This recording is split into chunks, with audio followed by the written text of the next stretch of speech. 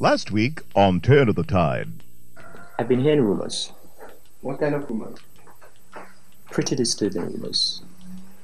People are saying the child Teresa is making isn't his. Joshua Walker, what do you mean by calling out so loud in the road for people to see you in the place this night? And the mop some out so damn big. The whole village gonna say you sleep here tonight. His name is Ben White. And I love him.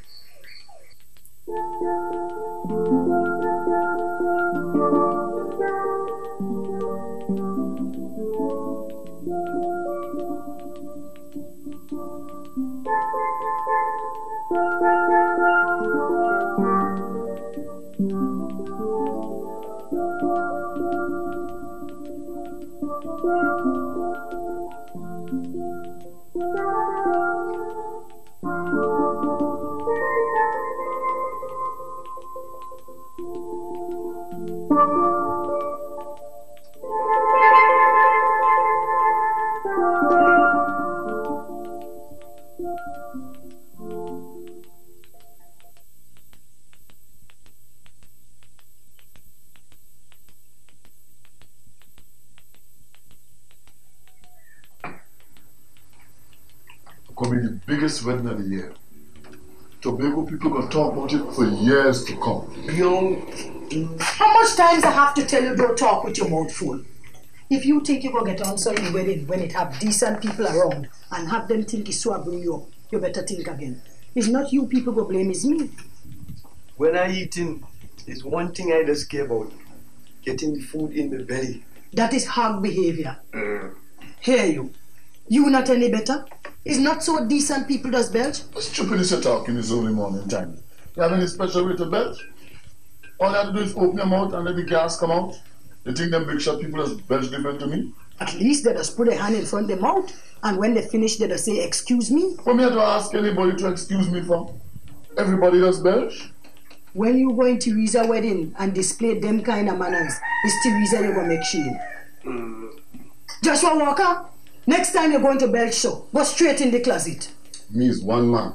Does belch anytime, any place, and anyhow I want. If you want to go and hide in closet when you want to belch, is your business. I'm not going to talk to all you two again. When all you do any kind of nastiness in company, I go play a don't know all. Just for you so hopeless. But Ron, I come you I come. And a little manners could helped you. My brother Charlie and his wife coming for the wedding and they're going to stay here for the weekend. Ma, me not going to sleep on no ground. When you have guesses, you have to give them the best. Every time people come here to stay, it's me just have to suffer. It's not for long. It's just for the weekend. And let me tell all you two one time. When Charlie and his wife come, all you not using them rusty old cup to drink tea in and taking out my new tea set. You mean I had to use teacup and saucer? That is exactly what I mean. You crazy tiny. One of them teacup can't even full one of the hole in my teeth. And you can't eat with your hand. You have to use knife and fork. now I know you're really crazy tiny. How you expect me to use knife and fork to suck out the fall for thunder? I as a man like to cut my bone to suck out the mouth. You go just have to eat decent. Morning, ma. Morning, pa. Morning, yeah. What time you come home last night? Around 12. You're not married yet, too. How do you think it looking to see you sleeping half the night by then? You think you have to share again, Tiny? Keep your mouth out of this. I talking about how it looking. We was trying to fix up the place, ma. Till 12 o'clock in the night? Every night? Give the girl a chance now, Tiny. She getting married Sunday. You shouldn't be drinking this amount of coffee. What you should be drinking is milk and orange juice and eating more greens. Hey, you mister. You can't just get up from the table, pick up your rusty cup and plate and walk out just so. You have to say, excuse me first. Excuse me first. Listen, you have to get some paint and some varnish today. You have to paint over the drawing room and varnish the furniture. We? Well, you go do it, but I go supervise the work. I know that. Every time people come here, it's me that suffer. I to sleep on the ground, I to paint house, I to varnish furniture. I don't know why them people don't stay in their house. Is your uncle and his wife? And it's I who invite them for the wedding. And you could help him, Joshua. Eh? My days for painting house and vanishing chair for done long time, girl. You not eating? I'm not hungry, ma. If you want a healthy child, you will have to make sure you eat proper. The doctor told me not to overeat. I'm sure he didn't tell you to starve yourself. Bye, ma. Bye, pa. You eating again, Joshua? Again? Me not stop yet? At your age, too much weight not good? Use doctor know what? Talking about doctor. I thought you were so good since last week. I will go after the wedding. How you feeling? Half and half. I remember the day they married. I could never forget that day. You was young and bony, I was slim. slim bony, all the same thing. I look at you and I wondered to myself if you could mind man. So I asked Peter, boy, you know what you're doing? He said, you know. I said, she could wash wares and wash clothes and cook food for you to eat. And you know what he said? He said, she gotta learn. I didn't have to learn a thing. When I married, I could have do all them things. And after the wedding, I did drunk for three days. I oh, no, no, I'm going to drunk for this time.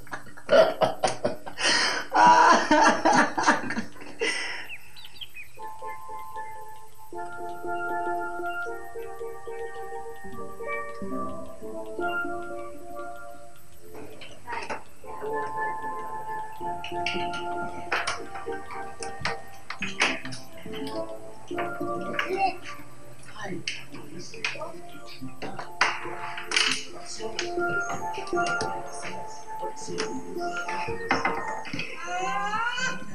greatly appreciate whatever help we can get, in whatever form we can get it, whether it be time, finance, patience, whatever.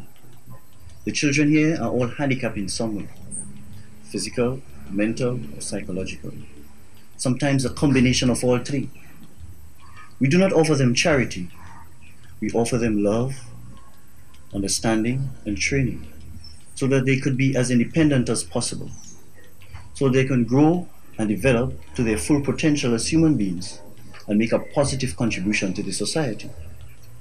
I think it's a wonderful thing you're doing here, and I would like to volunteer my services in whatever way you think best.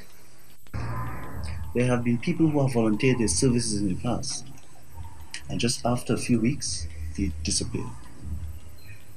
I would like to know why you've come here. Is it to escape the boredom of my life? I'm not married. Then may I ask why you've come? I want to help people who need help. I don't think anyone needs it as these kids. I have to be careful. There have been occasions in the past when these kids become very attached to the people who assist them. And when these people leave, the kids become depressed for long periods. They lose confidence in themselves. They blame themselves for the person's leaving, and they are worse off than before. I can't promise that I won't leave, but I can promise that while I'm here, I'll do everything in my power to help the children I come in contact with.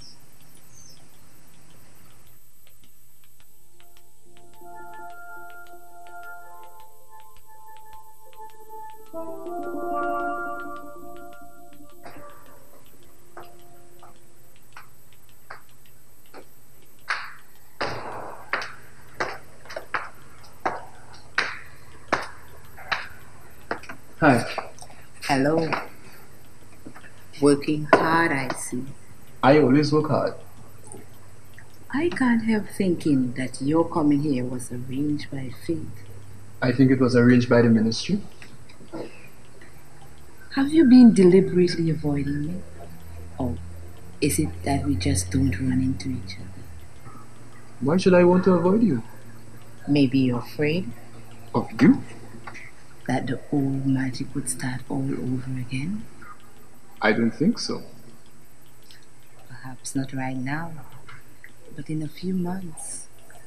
Who knows?